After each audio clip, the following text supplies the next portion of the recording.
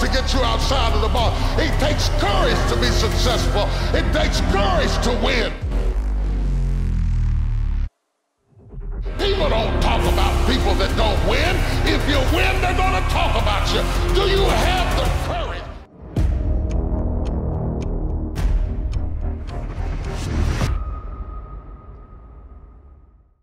What's up, guys? I hope your day is going along well so far. Crypto space has finally breathed some life and everything looks quite saucy. We can see a lot of excitement in the markets Hence, most digital assets have shot up in value over the last week. We have even witnessed some cryptos that have shot up by 250% in the span of a few weeks. We will see more runs like the one Silica just experienced in the coming weeks. Now you just have to do your research well and identify the different high quality coins that will hold value in the long term. Guys, don't forget to join in our giveaway. You can check it out in the comment section below for all the requirements. That said, let's roll that intro and then we'll get into all the juicy details of today's video. As always, welcome back to Money Side, your favorite crypto news channel. If you're new here, welcome to the XRP team. Hit that subscribe button and turn on notifications so you don't miss out on our daily crypto news updates. Before we get into today's video, it's important for everyone in the space to realize the only best way to make it in this space is by having a high risk tolerance. Now, this is something we've mentioned time and time again, but it's important to realize that while 80% of your crypto portfolio may fail, there will always be that one crypto that you put your money in that will ultimately change your life. You need to have massive risk tolerance if you want to survive in this space. Now in today's video, we're going to be revealing what the future of financial systems hold, and we will start with this proposed bill that would require the stablecoins to be backed by dollars, government securities. Remember the whole hubbub about Tether only kinda sorta being backed by the U.S. dollar? Two legislators, Representative Trey Hollingsworth, Indiana Republican in the House, and Senator Bill Hagerty, Tennessee Republican in the upper chamber, have introduced a bill designed to make sure that's never an issue again. Stablecoins would have to be completely backed by a combination of US dollars and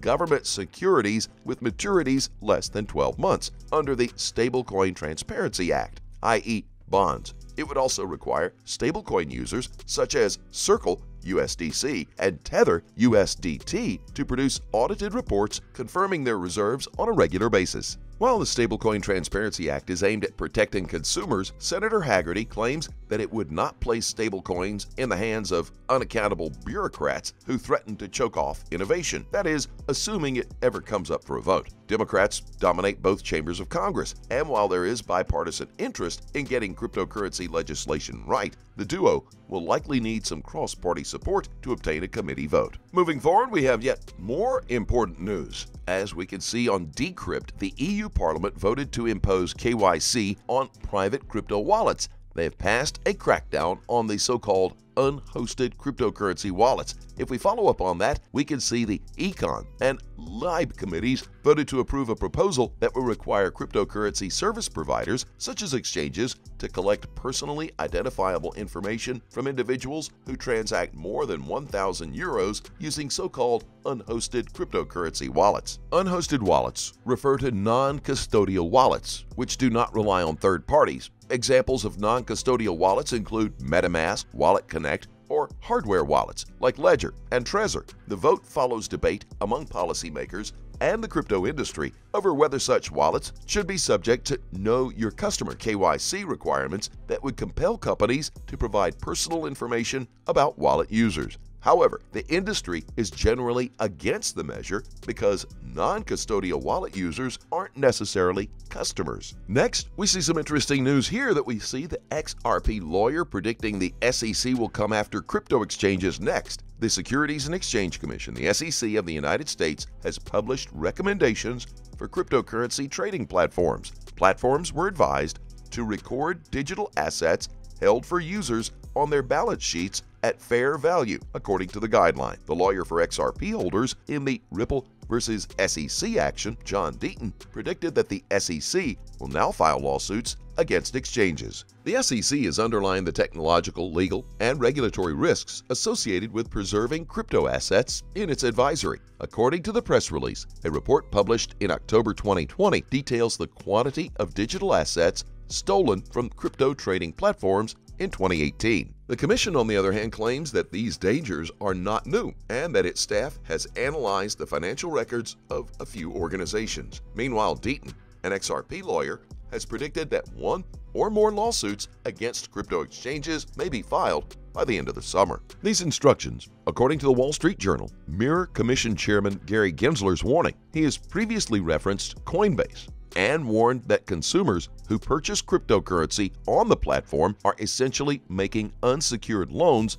to the corporation. The announcement comes in the wake of recent cyber attacks and crypto thefts. Axie Infinity recently lost almost $615 million in a breach, surpassing Polynetwork's theft of $611 million in August 2021. Any digital assets owned by investors will be accounted for as an asset by the platforms under the new laws. As we wind down on today's video, we're going to take a look at the Ripple versus SEC lawsuit. The crypto investors and everyone else in the crypto space have been for a while now waiting for the verdict on the Ripple versus SEC case. While the SEC has been insisting that XRP is a security, Ripple counters that XRP is a useful tool for transferring value across borders through Ripple products rather than it is a speculative investment vehicle. Excitement builds as the case drags on because the court's decision could have a material impact on cryptocurrency regulations. Meanwhile, the lawsuit has prevented XRP from taking flight. Some legal experts think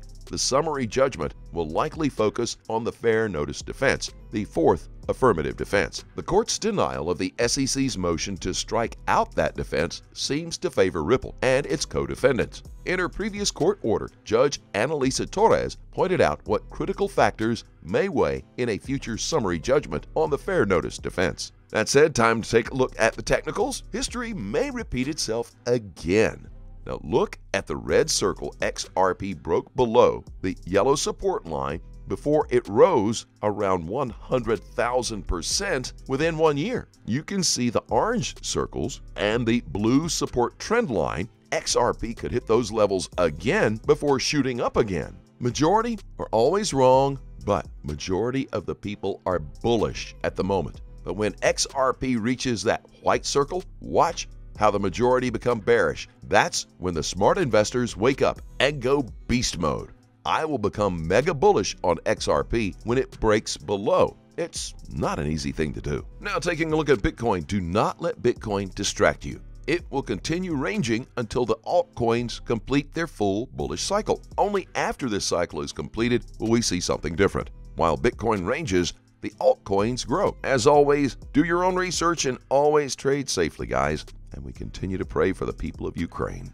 Please keep in mind we're not a licensed financial advisor. All videos on this channel are intended for entertainment purposes only. You can let us know what you think in the comment section below and let's have a conversation. Thanks as always for watching. Don't forget to like this video and please click on that subscribe button below. And be sure to turn on notifications. That way you don't miss out whenever we post our amazing content. Thanks again, and we will look forward to seeing you on the next Money Side.